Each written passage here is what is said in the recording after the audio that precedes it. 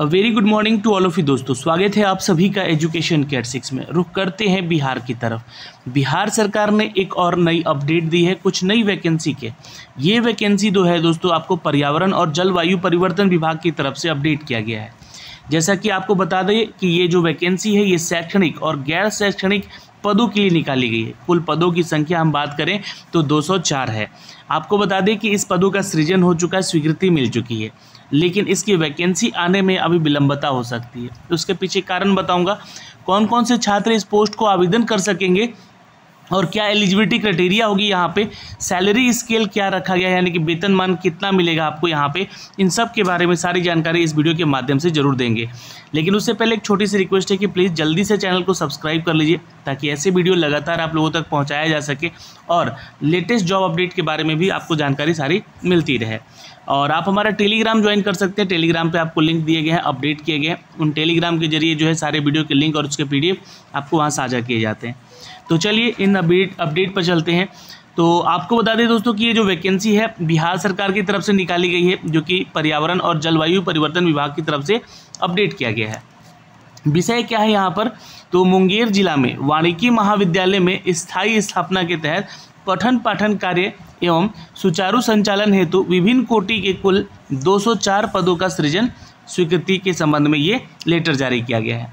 अब आपको बता दें दोस्तों कि ये जो है आ, महाविद्यालय की स्थापना करने की चर्चा हो रही है सबसे पहले तो जहाँ पर कृषि प्रधान राज्य है बिहार और कृषि वानिकी और कास्ट आधारित, है ना? कास्ट ये वो कैटेगरी वाला कास्ट नहीं है, ये कास्ट आधारित उद्योग के संबंधित ये वर्ड यूज़ किया गया है, जो कि यहाँ पे स्थापना की संभावनाएँ दृष्टिपथ से किसानों विद्यार्थियों और गैर सरकारी संगठन के सदस्यों के लिए ये अपडेट किया गया है दोस्तों, जहाँ पर इनकी नौकरियाँ लग सके और सरकारी सेवकों को वानिकी के क्षेत्र में प्रशिक्षण दिया जाना आवश्यक है।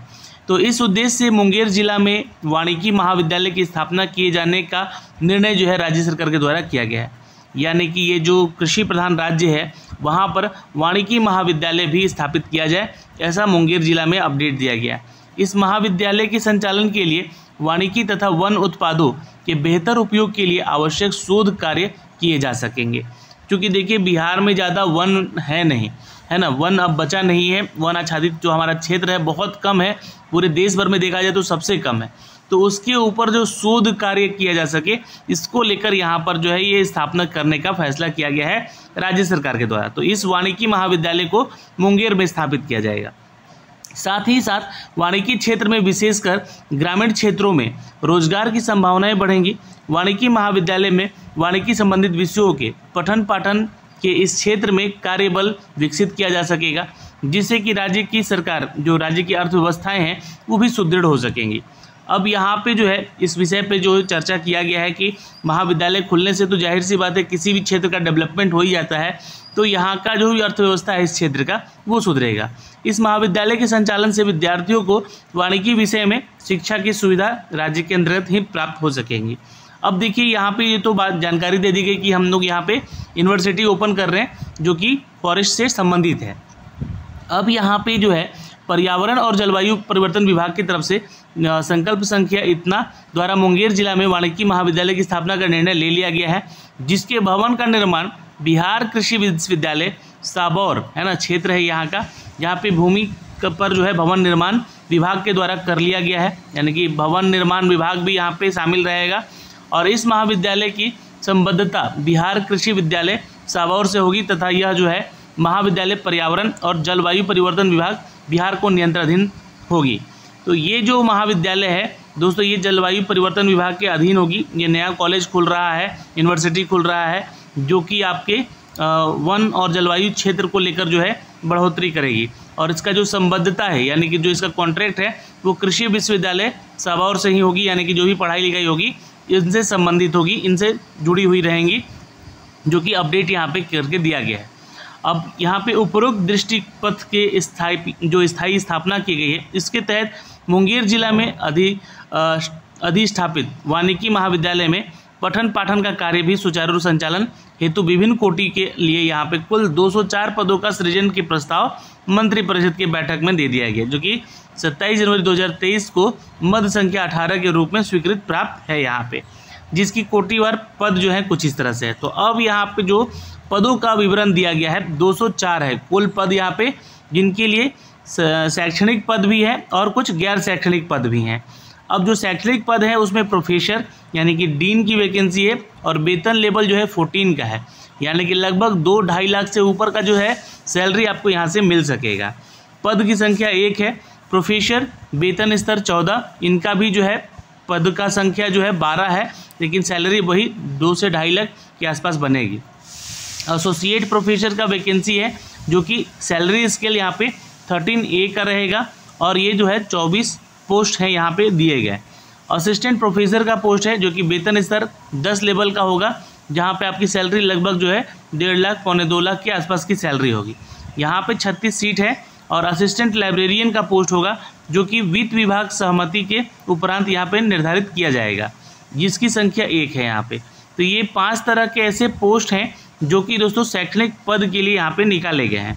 अब यहाँ पे कुल पदों की संख्या जो है, ये चौहत्तर हो गई, जो कि शैक्षणिक पद हैं ये।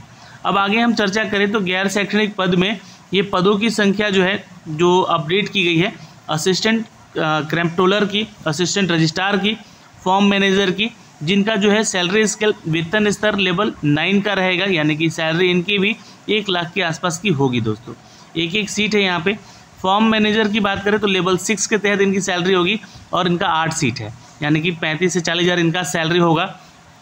टेक्निकल असिस्टेंट की सैलरी यहाँ पे वेतन स्तर सेवन है और यहाँ पे बीस पदों की वैकेंसी होगी। तो इनका भी सैलरी स्केल करीब पचास हज़ार के आसपास, पचपन हज़ार के आसपास होगा और जो है ये अलाउंस आपको अलग से मिलेगा, क्योंकि ये स्थायी पद हैं तो अलाउंस भी आपको बिहार सरकार की तरफ़ से मिलेगा यहाँ पे। निम्न वर्गीय लिपिक, यानी कि एलडीसी का पोस्ट भी है दोस्तों यहाँ पे, जो कि स्तर लेवल दो है यहाँ पे। और बारह पदों की संख्या है यहाँ पे। उच्च वर्गीय लिपिक की बात करें तो लेवल फोर के तहत छः पोस्ट हैं। प्रधान लिपिक की बात करें तो वेतन स्तर छः के तहत दो सीट है। असिस्टेंट सुपरिटेंडेंट की बात करें तो वेतन स्तर सेवन के तहत यहाँ पे एक सीट है। स्टेनोग्राफर की बात करें तो चार पदों की यहाँ पे है अपडेट दोस्तों, जहाँ पे आपका जो है दस सीट है। पर्सनल असिस्टेंट की बात करें तो वेतन स्तर जो है छः लेवल का है, जो कि यहाँ पे दो पद हैं यहाँ पे दिए गए कुल। तो ये ध्यान रखेंगे। फिर उसके अलावा प्रधान लिपिक का पोस्ट है, जहाँ वेतन स्तर छः का है। ये ध्यान रखेंगे, दो सीट है यहाँ पे। अगला जो पोस्ट है दोस्तों, ऑफ़िस सुपरिटेंडेंट का है, जो कि वेतन स्तर जो सेवन का है, एक ही सीट है यहाँ पे। स्टेनोग्राफर का भी पोस्ट है यहाँ पे, जो कि वेतन स्तर चार है। यानी कि सैलरी आपकी यहाँ पे भी चालीस से पैंतालीस हज़ार की होगी या पैंतीस हज़ार तक की होगी। और दस सीट है यहाँ पे। पर्सनल असिस्टेंट की बात करें तो दोस्तों, वेतन स्तर छः लेवल का है। यहाँ भी आपका पचास से पचपन हज़ार का सैलरी होगा। दो ही सीट है। फोटोग्राफर वीडियोग्राफर का पोस्ट है। वेतन स्तर छः लेवल का होगा। फ़ील्ड ओवरसियर का पोस्ट है दोस्तों, जो कि इंजीनियर का ये पोस्ट होता है। और लैब असिस्टेंट का पोस्ट है दोस्तों, जो कि वित्त विभाग ही तय करेगी। और फॉरेस्ट सुपरवाइजर का भी पोस्ट है यहाँ पे, जो कि वित्त विभाग इसको तय करेगी।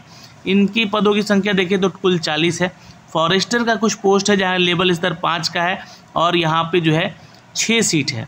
और फॉरेस्टर एक अच्छा पोस्ट होता है दोस्तों, जो कि देखिए, बिहार के, अगर हम बात करें सीएसबीसी का तो वहाँ से भी इसकी वैकेंसी निकाली जाती है, फॉरेस्टर और फॉरेस्ट गार्ड का। तो यहाँ पे फॉरेस्टर का वैकेंसी छः ही दिया गया है, वहाँ पे संख्या ज़्यादा हो सकती है।